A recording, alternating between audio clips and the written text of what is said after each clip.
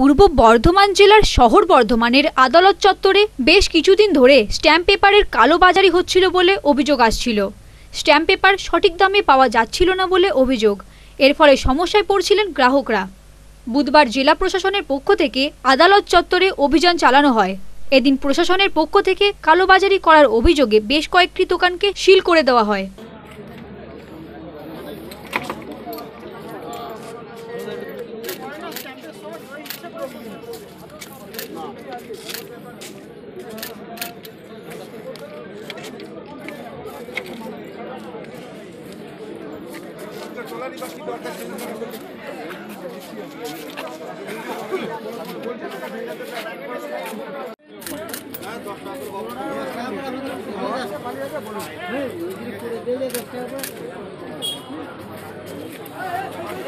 দাদা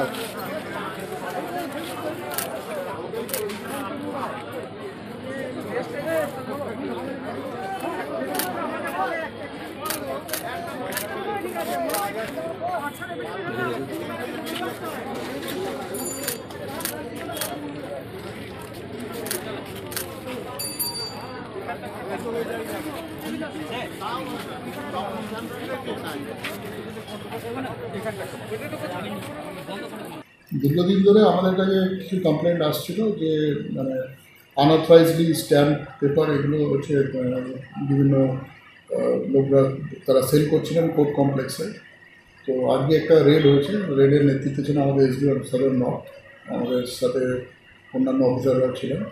তো সেই রেডের মাধ্যমে আমরা কিছু আইডিয়া মানে আইডেন্টিফাই করতে পেরেছি কয়েকজনকে। যারা এই আনঅথরাইজলি এই stamp paper not judicial stamp paper তারা সেল করছিলেন। তাদের মধ্যে কাস্টডিতেও নেওয়া হয়েছে এবং আমরা লিগাল প্রসেস যেটা আছে সেটাকে ইনিশিয়েট করছি। এফআইআর লঞ্চ হচ্ছে।